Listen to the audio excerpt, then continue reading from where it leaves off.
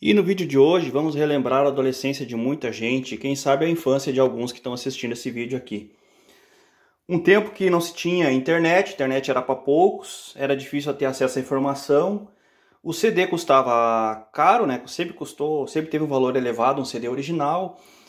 E a opção para a galera que estava migrando lá para o CD era a revista Jovem Pan, a revista Jovem Pan que trazia um conteúdo interessante, mas a grande maioria do público, eu sou um exemplo dele, comprava a revista Jovem Pan para adquirir o CD e, junto com o CD, algumas músicas que faziam sucesso na programação da Jovem Pan. Isso lá por meados de 99, 2000. Procurei no YouTube e encontrei poucas coisas a respeito da revista Jovem Pan, né? Ainda tem alguns exemplares à venda na internet. Pessoal que tem coleção de revistas, né? Tem pessoas que colecionam essas revistas aí, guardam com certo carinho. Encontrei alguns exemplares aqui da minha adolescência eu tenho aqui a exemplar ano 3, uh, ah, número 17. Está aqui o valor que eu paguei na época, R$ 9,90. Eu tenho aqui a ano 2, exemplar número 6. Eu tenho aqui a ano 3, exemplar 15. Eu tenho aqui a ano 3, aqui já diz até o ano, né? Foi fevereiro de 2000. Eu tenho a ano 3, abril de 2000. Eu tenho a ano 4, dezembro de 2000. Alguns exemplares aqui, eu tive mais revistas que essa.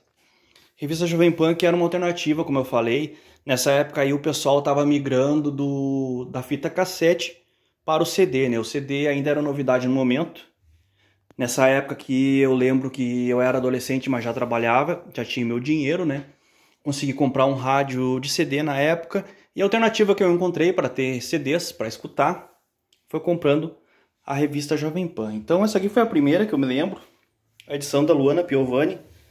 Normalmente a revista vinha com algum famoso estampado na capa, né, e com um pôster na página central.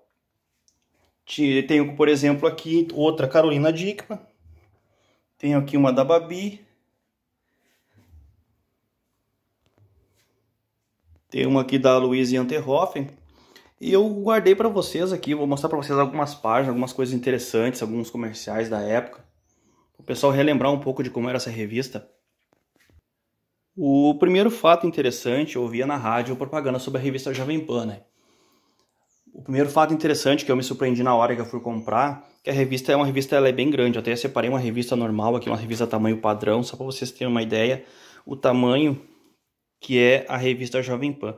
É uma revista bem maior, uma revista bem grande, uma revista bem colorida, voltada ao público jovem da época, né? Que eu achei interessante mostrar para esse vídeo aí, vocês que estão assistindo aqui, normalmente o pessoal que está que tá na faixa entre os 35 e 45 anos, que é o meu caso. Lembrando que eu estou fazendo esse vídeo aqui no ano de 2022, né? Finalzinho do ano de 2022, estamos indo para 2023. Os rádios da época, né? Tem aqui propaganda de um Microsystem Philips, no caso aqui o AZ1207. Tenho aqui o AZ1110. Temos aqui o Mini System FW870C da Philips. E aqui um, uma coisa que eu achei bem interessante na época, que era um gravador, gravador de CD você conseguia gravar CDs em alta velocidade. Isso aqui era uma inovação na época e era poucos que tinham acesso a um computador com um gravador de CD, né? Então isso aqui eu achei, na época eu achei uma baita evolução. Cheguei a cogitar ter um aparelho desses aqui para reproduzir e gravar CDs. Como eu já falei no início do vídeo, CD na época era novidade, né? O CD estava chegando com tudo. Praticamente todas as edições tinham essa, essa página aqui, achei interessante compartilhar com o pessoal, que era a galera na praia, né? Normalmente os famosos, mas também tinha pessoas anônimas também, que eles tiravam foto e tal, conversavam um pouco com o pessoal, a galera que estava curtindo uma praia e a galera que estava curtindo uma balada, né? Lembrando que era tudo totalmente de como é hoje, né? Redes sociais e internet. Nessa época o pessoal não tinha acesso a esse tipo de coisa, né?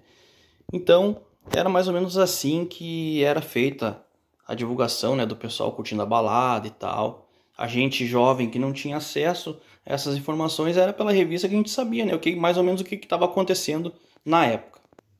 Outra coisa interessante que eu achei para mostrar para vocês na contracapa aqui, o comercial do Discman da Sony, que também era uma evolução na época, né? Até tem aqui na propaganda uma moça dançando com ele. E daí tem aqui uma informação interessante. Que diz aqui, ó, porque quem o porquê quem tem que pular é você e não ceder. Mas tem escrito pequeno aqui que a uma informação pequena aqui que é apenas uma imagem alusiva, né? Porque quem teve Discman sabe que não podia balançar o Discman, né? O Discman ele tinha que ficar quietinho no lugar dele tocando, não podia balançar ele no momento da reprodução, né? Uma, um problema que atualmente a tecnologia resolveu, né? Temos, hoje temos o Bluetooth, temos o USB, temos o SD, não seria o problema em dias atuais, isto. Sempre tinha propaganda de CDs da época, né? CDs que estavam fazendo sucesso. E também temos aqui, o pessoal das antigas vai se lembrar, hoje em dia, atualmente, quem escuta Jovem Pan, o humor da Jovem Pan é o Chuchu Beleza quem faz, né? O pessoal lá do Chuchu Beleza. Na época era o Homem Cueca. Eu, pessoalmente, achava bem mais legal o Homem Cueca, né? Que era sempre uma história engraçada, que o Homem Cueca, cara pediu socorro pro Homem Cueca, ele ia lá, resolvia a situação lá e depois cobrava uma taxa e mais o dinheiro do busão, né? Esse era o Homem Cueca. E daí aqui na revista Jovem Pan você tinha a versão quadrinhos, né, de algumas histórias do Homem Cueca.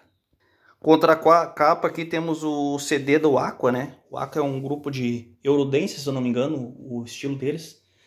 A garotada gostava muito do som do Aqua na época, né? Fez um grande sucesso. Novamente algumas propagandas do CD aqui em outra revista, né? Propagandas do CD do Aqua. Também toda a revista tinha o comercial da famosa da capa, né? Tinha o comercial da famosa da capa, tinha o pôster. Pôster não tenho mais do pôster. Tinha as reportagens.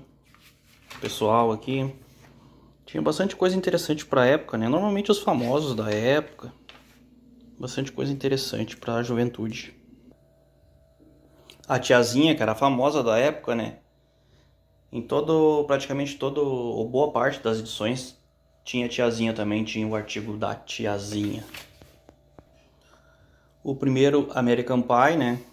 As histórias da primeira vez, o que dá certo, o que não dá certo. Na primeira vez, né? Com alguém. E sempre tinha aqui alguma coisa falando sobre algum filme, algum tema adolescente, né? Então, bem interessante. Tinha aqui a história do filme, né? E também tinha a história de algum leitor da revista que contava a experiência que ele teve com sua primeira vez. Propaganda de CDs novamente, o que mais tinha, né? Propaganda de CDs, né? Até porque é uma revista de uma rádio.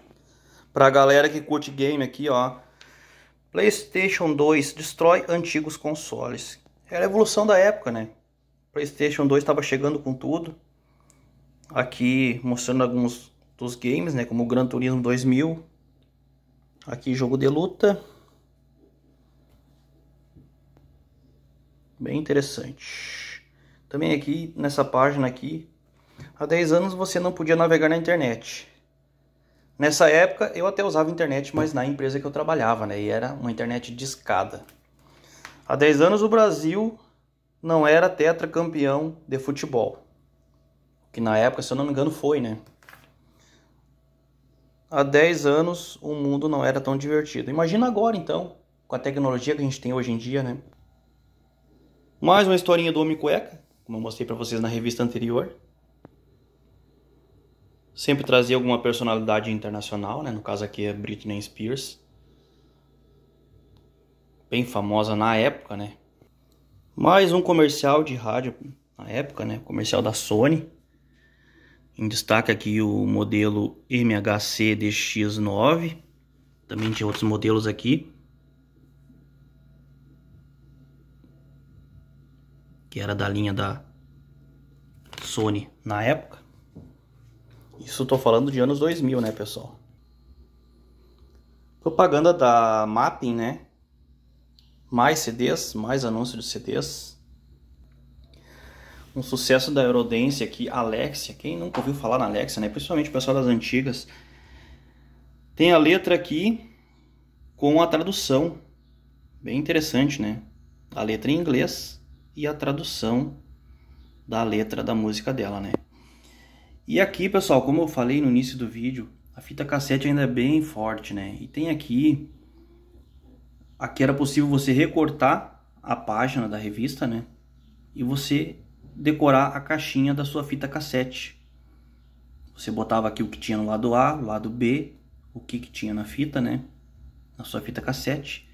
Eu na época tinha minha coleção de fitas cassete, quase que eu cortei essa página aqui. Eu tenho lembrança disso, quase que eu cortei para usar. Mas fiquei com pena, né? Fiquei com pena de cortar. Acabei não, não tirando essa página aqui. E ficou. Hoje estou fazendo esse vídeo para vocês, estamos relembrando, né? Se o pessoal que está olhando até aqui provavelmente viveu essa época, tá relembrando um pouco com nós aí, essa época da revista Jovem Pan. Hoje em dia, para garotada nova, não faz muito sentido, né? Você ir numa banca de revista, comprar uma revista, ainda mais por causa de um CD, né? O aplicativo da Jovem Pan mesmo, por exemplo, que é a rádio que a gente está falando aqui. Quantas, quantas e quantas informações não tem no aplicativo da rádio, né? Na época, se eu não me engano, era 83 emissoras que a Jovem Pan tinha. Então, pessoal, o vídeo de hoje era isso. Espero ter relembrado aí a adolescência de, de muitos aí. Agradeço ao pessoal que assistiu o vídeo até aqui. Agradeço os novos inscritos, agradeço aos comentários de apoio. E fui, galera!